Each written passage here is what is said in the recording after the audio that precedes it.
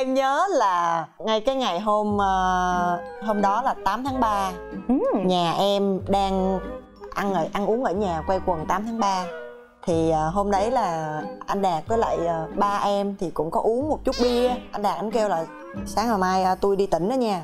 Xong cái em mới chọc giỡn giỡn em mới kêu là thôi ông khỏi đi đi mai lát tôi đi đẻ giờ đó. Ờ. là em chỉ nói vui thôi. Lúc đó là lúc đến đó ngày... là còn khoảng một tuần nữa mới đến ngày vệ sinh. À, cho nên mình nói chơi chơi vậy. thôi dạ anh đạt còn như cũng uống mấy lon với ba em vậy đó. 9 giờ mấy là lên ngủ rồi.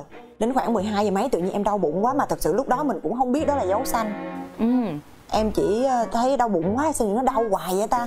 Nó cứ đau mà đau liên tục liên tục. Thì em nghĩ chắc là cơn gò giả thôi. Sau thì em ờ, đi toilet ra nói có có máu báo xanh. Dạ. Ừ. cái thì em mới kêu anh đạt em kêu vậy vậy vậy vậy vậy. Mà chị biết không lúc đó mới cái dòng mà xỉn. xỉn mới vừa vô giấc ngủ. Thì em vừa kêu đạt vậy vậy vậy đi đẻ đẻ đây có máu báo xanh rồi. Kiểu anh kiểu anh hoảng hồn quá chị không biết vụ gì. Đẻ gì ai đẻ? Để gì ai đẻ mà mà em nói là cái khuôn mặt của ông không bao giờ cuộc đời em quên được. Em nói ông làm gì vậy? Cũng như lúc đó không phải là ổng nữa. Mà chị hiểu cái cảm giác mà mới vừa vô giấc ngủ mà tỉnh dậy mà chưa chưa có kịp hoàn hồn hồn chưa về. Ai đẻ mà con mắt ổng không không có nằm ở trọng tâm. Hai con mắt ổng lệch ra hai bên luôn á chị. Trời em nhớ là em cười đau bụng luôn á. Trời ơi. Xong cái là em kêu ông tỉnh cái ông tỉnh em dỗ dỗ vô mặt mấy cái. Tôi đi đẻ với ai đi đẻ. Ờ đi đi đi. Sau lúc đó bắt đầu ông mới tỉnh tỉnh ông chở em đi đẻ chị. Trời, trời em nhớ không bao giờ em quên. Luôn giờ ông đi đẻ không ai đi đẻ? Lúc vô tới bệnh viện là ông tỉnh chưa? Ông tỉnh rồi. Mà ông cho em đi vô cái chỗ mà đo tim thai xong là ông đi ngủ. Ông đi ngủ luôn chị tại vì bây giờ ông xỉn quá ông đi ngủ. Khi mà em đo tim thai xong bắt đầu chờ bác sĩ vô em mới lên bàn xanh cái em đi ra nữa ổng đâu? không có ai trơn chứ chơi có mình mình à. Mà em đi dắt lúc đó em nhớ là 3 giờ mấy sáng ở bệnh viện. Em ờ, đau bụng là 12 giờ mấy. Em lên đến bệnh viện là một giờ mấy. Vô đo tim thai rồi này kia bắt đầu bác sĩ kêu bây giờ ngồi chờ. Bác sĩ vô rồi lên bàn ừ. xanh cái em đau bụng quá em đi ra em kiếm. Ủa không đi đâu chưa mà trong người không hề có một cái điện thoại nào hết. Em là người rất sợ ma mà bây giờ lúc đó là đau quá rồi không sợ luôn. À. mà trong bệnh viện có một mình em mà em đi giáp dòng quên bệnh luôn viện. cái nỗi sợ của quên mình. luôn cái nỗi sợ đó. 4 giờ mấy là bắt đầu em xanh nói chung là xanh cũng thuận lợi. Em nhớ là sau khi mà em ra giường rồi em mới kể lại cái cái chuyện đêm ngày hôm qua cho bố kít nghe.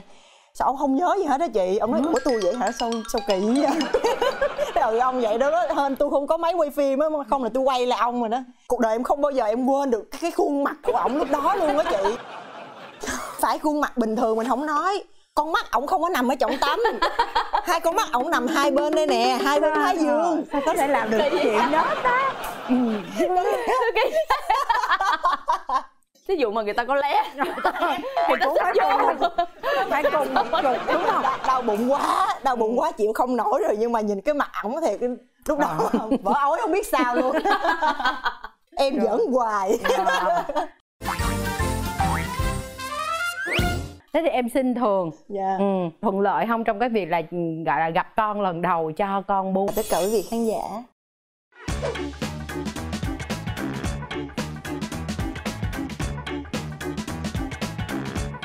lâu lắm rồi mới gặp lại em ha. Dạ. thôi bây giờ mình bỏ qua cái chuyện công việc đi. Mình tập trung vào cái chuyện làm mẹ của mình đi. Cảm xúc của mình khi mà lần đầu tiên mình biết tin mình mang thai nó như thế nào. Ừ. nó cũng ờ, khá là nhiều kỷ niệm đối với ừ. em. Bởi vì ờ, khi mà em ờ, có baby thì trước đó em đã chuẩn bị cỡ khoảng 6 tháng để mà lên kế hoạch. Khi mà nhận được cái thử cái que mà được hai vạch á thì cái cảm xúc của em lúc đó là mừng bên cạnh đó bên cạnh cái sự vui mừng đó là lại bắt đầu lo ừ. vì không biết là ở hành trình sắp tới mình sẽ như thế nào con nó sẽ diễn biến như thế nào đối sẽ lớn lên với sao cái gì? dạ thì ủa nhưng mà ngọc cái dấu hiệu nào mà em quyết định là thử que em chỉ nhớ là lúc đó em đang quay phim ừ. em đang đi quay cái phim của anh ờ, xuân phước bình thường em là một là một đứa gọi là đi làm không biết mệt ừ. có thể quay từ 6 giờ sáng đến hai ba giờ sáng nhưng mà tự nhiên hôm đó đang quay một cái cảnh là đánh nhau. Thì em xỉu luôn chị. Mọi người nói trời ngọc nhập vai dễ sợ. Mọi người nói trời nhập vai dễ sợ xong thấy ủa sao nhập xỉu lâu quá không tỉnh. Xỉu lâu xỉu lâu quá không tỉnh. Xỉu lâu quá không thấy tỉnh. Cái mọi người mới thấy mới mới biết là em bị xỉu thiệt. Cái lúc mà anh xuân phước bế em lên xe cái thì mình bắt đầu tỉnh tỉnh anh ơi em tỉnh rồi. Thôi không cần đi bệnh viện nữa đâu. Tôi đang hình dung ra cái hình ảnh của anh xuân phước mà bế dịp bóng ngọc. Kỳ lắm nha. Tại vì anh xuân phước thì body của ảnh nó cũng... ý vậy đó anh xuân phước con con khúc mà sau đó thì em mới kiểu như mình thấy cái người mình nó có một cái gì đó nó lạ thì sau đó em mới thử que thử. Ừ. là lúc đó em đã thả cho có baby rồi. Thử lần thứ nhất thì không có ra nhưng mà thử hai ba lần sau bắt đầu. Mua bao nhiêu que? Chục que chứ. Chục que chứ. Cũng may là gần cuối phim rồi thì cũng thông báo với lại cho anh Xuân Phước biết là em có baby như vậy để mà khi mà có những cái cảnh quay mạnh hay như thế nào đó thì tiết cũng mình lại. cũng phải tiết chế lại. Sau cái phim của anh Xuân Phước đó thì là bắt đầu em nghỉ quay và bắt đầu một cái hành trình là chăm con. Chăm con. Thật ra nha cái tâm lý mà mình vui khi mà mình ờ, thấy là mình hai vạch rồi sau đó là hoảng loạn thì cũng là tâm lý rất là bình thường Đúng. của rất là nhiều bà mẹ mặc dù là đã có một cái quá trình chuẩn bị. Ừ. và nó đặc biệt ờ, hoang mang nhiều hơn với một vài những cái gọi là những cái đặc trưng của từng bà mẹ. Ví dụ như là như ngọc lan hoặc là như diệp bảo ngọc. Cái nghề của các bạn nó đòi hỏi rất nhiều thứ liên quan đến hình thể và cái nhịp độ công việc. Nó ảnh hưởng trực tiếp đến thai kỳ cho nên rất là dễ bắt gặp cái trạng thái đó bây giờ mình qua cái giai đoạn là chăm con trong bụng nè. Cái hành trình đó nó như thế nào? Nó có êm ả hay không? Nếu như mà nói nếu mà cho em quay ngược thời gian trở lại á chắc em sẽ không có chọn cái uh, cái giải pháp là khép mình. Khi mà có baby xong lúc đó thì mình em cũng không muốn là cuộc sống riêng tư của mình thể hiện trên mặt báo quá nhiều. Ừ.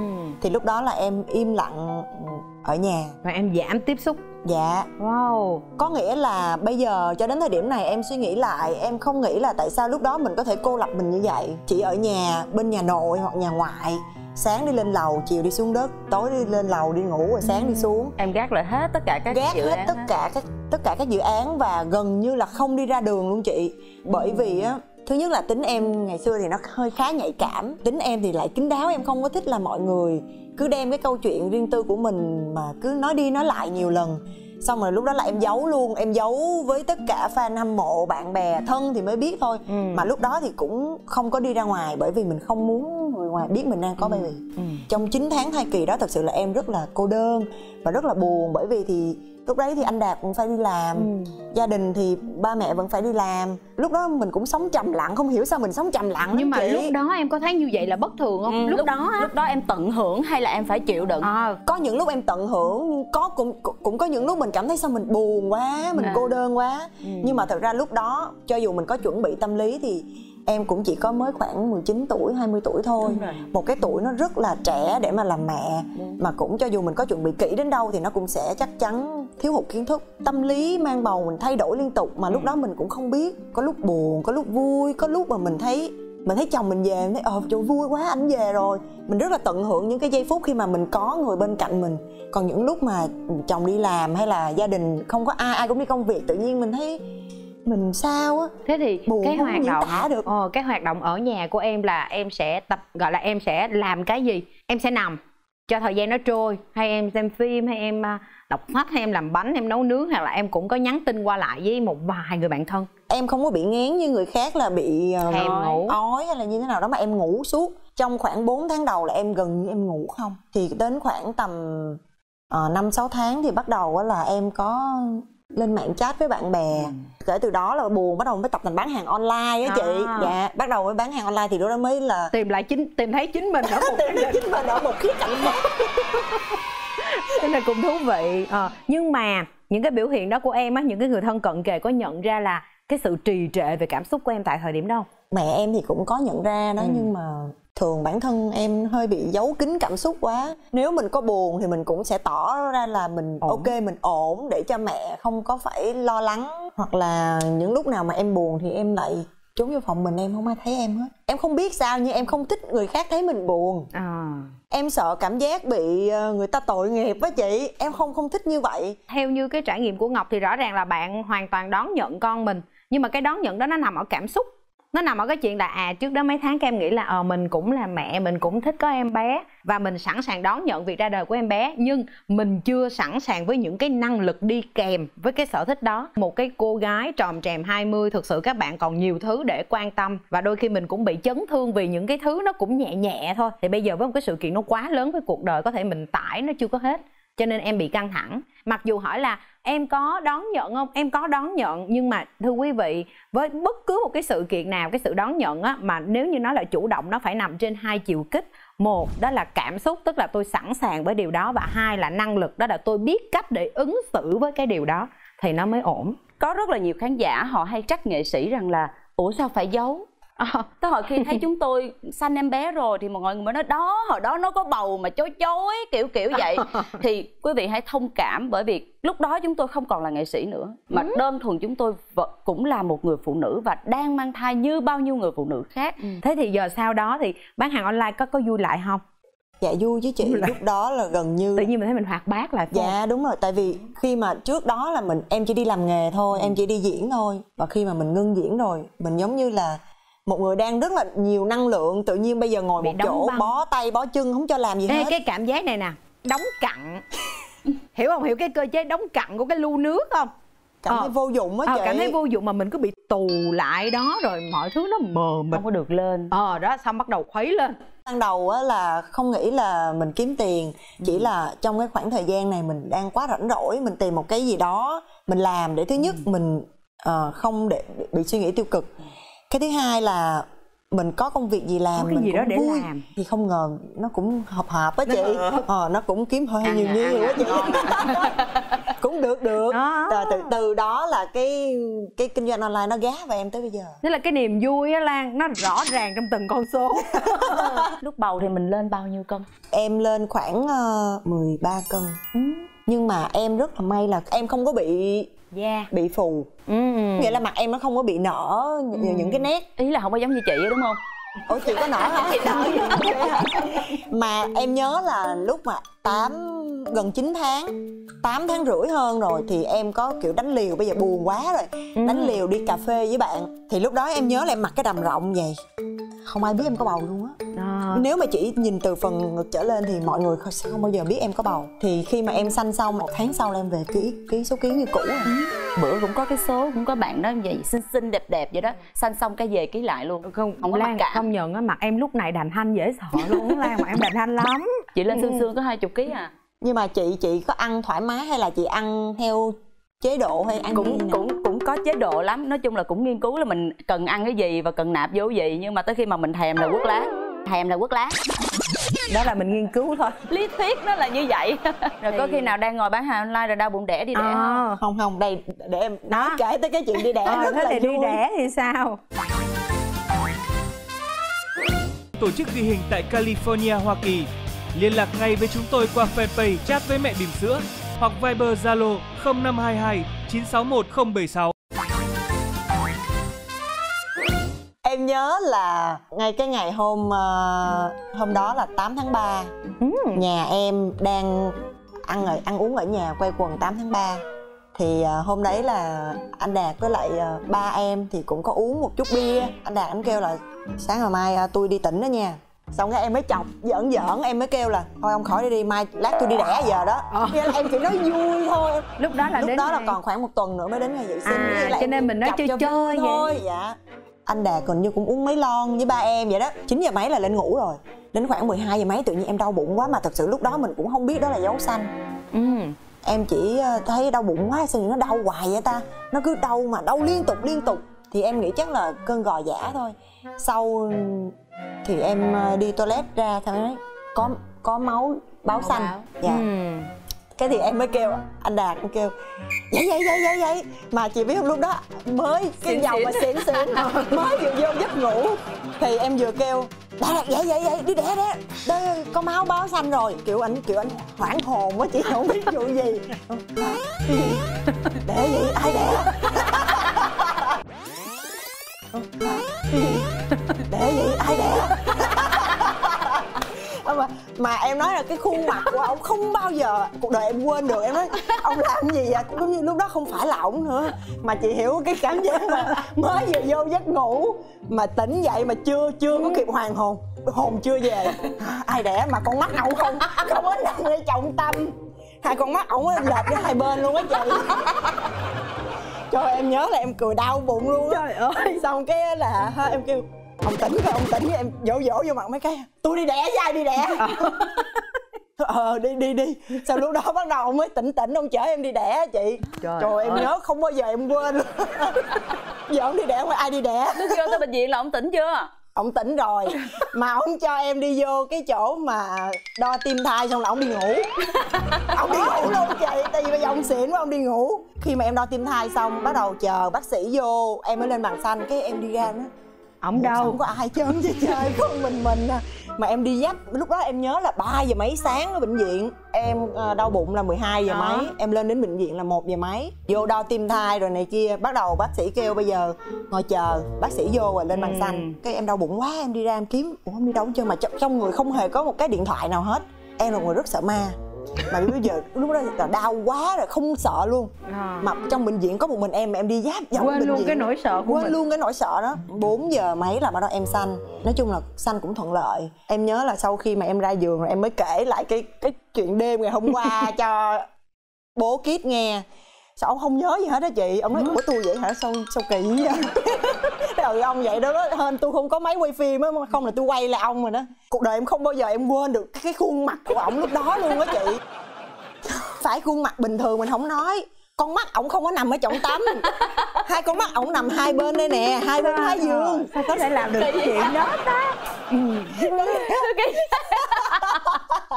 thí dụ mà người ta có lé thì cũng phải cùng phải cùng một cực đúng không? Đau, bụng quá đau bụng quá chịu không nổi rồi nhưng mà nhìn cái mặt ổng thì cái- lúc đó vỡ ối không biết sao luôn. Em giỡn hoài thế thì em xin thường. Dạ. Ừ.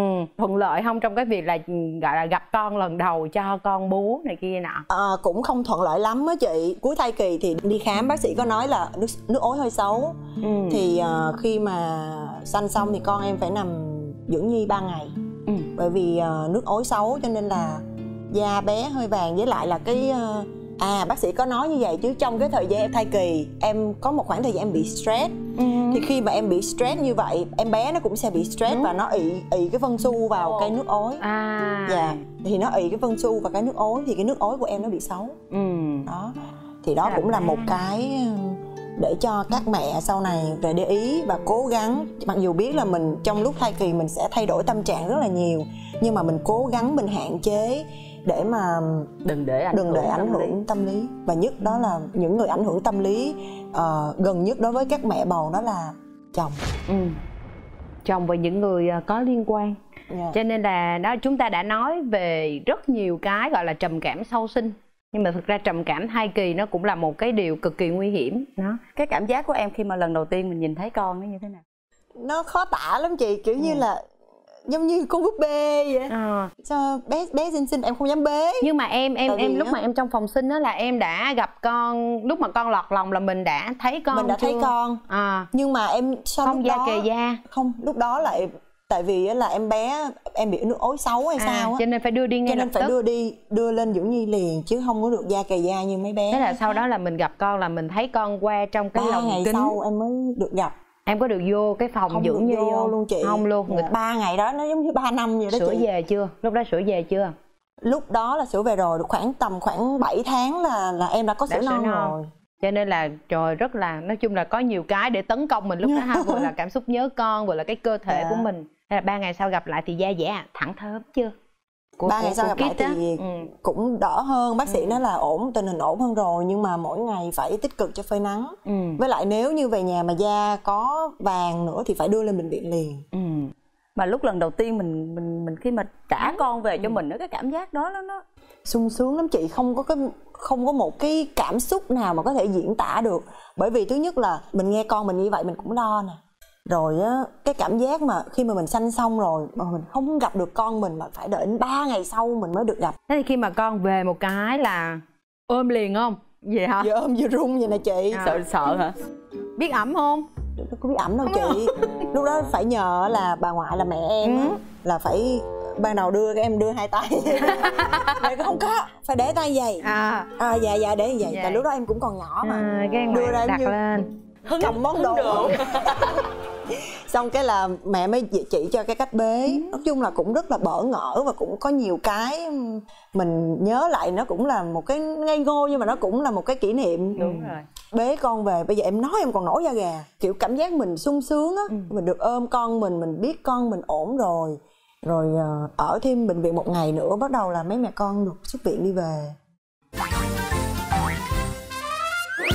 ở trong bệnh viện thì có y tá bác sĩ à. rồi chăm tới hồi về nhà là mình mới là cái người trực tiếp chăm sóc cho con của mình nè à. gian nan dữ không em em thì nói chung là được may mắn hơn những bạn khác là bởi vì có ngoại có ngoại có nội ừ. rồi cũng gia đình cũng đông người à. cho nên là mọi người thi nhau không không không đến lượt mình chăm ừ. tại vì về là ngoại cưng quá ngoại cứ đòi chăm rồi cũng có bà vú thì à. bà vú cũng giúp chăm bé ừ. rồi cũng có cô gì chú bác gần gần nhà cứ ừ.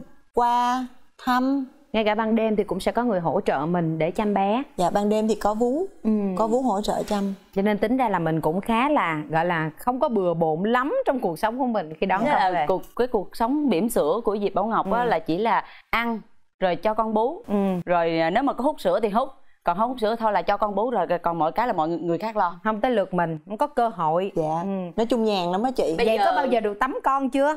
Dạ chưa chị. Dạ chưa chị. Trả lời mà rất thiệt lòng thưa quý vị. Chị biết tại chưa chị. Tại vì á em bế em đã sợ rồi. Ừ. bế con vì con nó bé quá. Xong rồi á là một tháng một tháng sau khi mà về á là em có nhờ cô um, ừ hộ sinh. các cái cô hộ sinh dạ bảo dạ mẫu đến nhà để tắm. Sợ lắm ừ. con nó mềm xẹo quá. Em tắm con lần đầu tiên là lúc con bao nhiêu tuổi? Cái gì bao nhiêu tuổi chị chị phải hỏi là bao nhiêu tháng? Chứ à, đúng rồi phải như vậy. Nếu chứ mấy tháng thì lần đầu tiên mình được tắm con. Dạ. phải dùng từ được á lan. Bé cỡ khoảng ờ, ba bốn tháng là em mới ừ. dám tắm bởi vì lúc đó bé nó cứng cứng à, hơn rồi. đúng rồi. Cũng đập đập thì em được đó. em cũng có biệt danh là con để bổ quá chị con để bổ là con đổ bể con để bổ là con đổ bể con đổ bể á chị cho nên mẹ em không có dám vào cái là giờ đâu là có thể. Em đi em còn dấp té bế một đứa bé tắm cho nó. Đến cái giai đoạn cho ăn thì sao có khó khăn không? Hay là lúc đó là vẫn có bà ngoại để hỗ trợ? Cho ăn thì bé kiết nhà em nó cũng trợ viên nó cũng dễ ăn. Nhưng mà do thật ra là ngày xưa mình cũng không có quá nhiều kiến thức với chị cho nên là em cho con ăn hơi sớm ừ. thay vì là bây giờ mình có nhiều kiến thức hơn thì mình biết được là 6 tháng con nó mới cái hệ tiêu hóa của nó nó mới đủ ừ. để mà ăn còn ngày xưa là mình cứ theo mấy quan niệm của của mấy người xưa là ừ. cỡ khoảng 4 tháng 5 tháng là cho ăn rồi con nó thèm là cho ăn ờ. thấy nó cái miệng chép chép là cho ăn nhưng mà lúc đó bạn nó ổn không lúc bốn dạ bạn vẫn ổn à, ổn là được thôi là bạn Vậy vẫn thôi. ổn nhưng mà có cái gọi là có một cái chướng ngại hoặc là có một cái nỗi bận tâm nào đó của em sau khi mà mình sinh con ra mà mình vẫn còn hơi bị buồn buồn giống như trước đó nữa không? Tức là cái tinh thần của em lúc đó nó đã hồi phục hoàn toàn chưa? Em thấy là sau khi sinh xong mình buồn thêm nghĩa là mình buồn không biết vì sao mình buồn. Thật ra lúc đó em cũng không không biết là bị mình mình sẽ bị trầm cảm sau sinh. Em chỉ thấy là ủa tại sao mình cứ ngồi ngẩn ngơ? À. mình nhìn con mình cũng buồn mà mình nhìn thấy chồng mình cũng buồn mà không hiểu sao mình buồn. Thế là tâm thế mình không có phấn chấn gì hết. Đúng rồi chị nó giống như là nó là một cái nó kéo có một cái gì đó nó kéo cái tâm trạng mình đi xuống. Rồi bao lâu thì em mới giải quyết được nó? Và giải quyết bằng cách nào? Khoảng 6 tháng sau là em quyết định là em quay trở lại công việc. Ừ. bởi vì em thấy là bây giờ ở nhà nữa thì có ngày chắc không biết như nào luôn vì buồn quá. Có khi nào buồn quá mà cãi lộn với mọi người luôn không? Em buồn là em không thèm nói chuyện với ai hết ăn không ăn luôn á chị. Có nghĩa là em bỏ ăn luôn. Lờ đờ vậy đó kiểu như là mình không thèm ăn luôn mẹ em sợ quá mẹ em kêu là trời ơi phải ăn đi mới đẻ mà không ăn gì hết. Xong rồi mà thực sự lúc đó rất là thương bà ngoại luôn á có nghĩa là đồ ăn là đem lên tận miệng thiếu điều muốn đút cho mình ăn luôn mà. Tự nhiên lúc đó tâm trạng mình không có để ăn. Xong mẹ em thấy được những cái biểu hiện bất thường của mình. Tối đến xong cái mẹ kiểu ngồi thủ thị nói chuyện kể chuyện này chuyện kia. Ừ. rồi hoặc là à, cả nhà kéo nhau bày uống vài lon xong rồi kêu em xuống ngồi để cho cái không khí nó nó nó nó, nó hưng phấn hơn là nhà mạnh phòng ai nấy ở mạnh ai nấy làm. Và sau 6 tháng thì mình quay trở lại với phim trường và lúc đó là mình phấn chấn hơn hẳn đúng dạ, không? lúc đó là đi phim quá trời đi luôn. Ừ. giống như đi bù lại đi bù á chị gọi là đi bù. Đi bù lại. Kít năm nay là bao nhiêu cái năm nay 7 tuổi. Ừ là mình 28 tuổi. Nếu như mà mình mang thai thêm một lần nữa và mình sanh một đứa con nữa thì em có đủ tự tin rằng một mình em em có thể chăm con được không? Không cần đến bà ngoại nữa.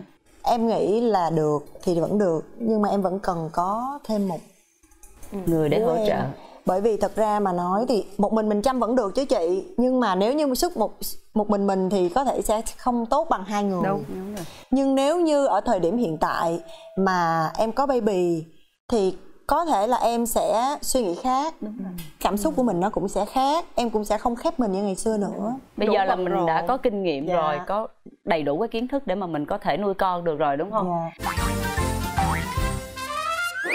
bây giờ thì ờ, mình có cái lời nào nhắn gửi đến cái người mà mình thương yêu nhất không? À thật ra thì ờ, cái người mà em muốn cảm ơn nhiều nhất đó chính là mẹ em và gia đình của em. Bởi vì ờ, ngay cả những cái ngày mà em sau khi sinh con xong hoặc là có những cái biến cố trong cuộc sống của em thì cái nền tảng mà để cho em vượt qua được nhanh nhất đó là gia đình. Khán giả cũng nhìn thấy em là ô tại sao ngọc lại mạnh mẽ như vậy? Là nhờ em được sự ờ, chia sẻ từ gia đình. Cho dù mình có như thế nào, mình có sai lầm hay mình có vấp ngã, thì con vẫn là con của mẹ. Và con về đây mẹ vẫn giang tay ôm con vào lòng, cho dù con lớn như thế nào con cũng cảm ơn mẹ rất là nhiều và cuộc đời con rất là may mắn khi mà được sinh ra trong một môi trường có rất là nhiều tình thương. Con cũng học được rất là nhiều để mà sau này con có thể dạy dỗ những đứa con của mình. Người ta bảo nước mắt chảy xuôi là đúng. Đúng rồi. Đến già và thì à, cho dù mình có bao nhiêu tuổi đi chăng nữa thì mình cũng vẫn là một đứa trẻ bé bỏng trong vòng tay của cha mẹ mình. Cảm ơn em đã mang đến cho chương trình một câu chuyện rất là dễ thương à, rất là thú vị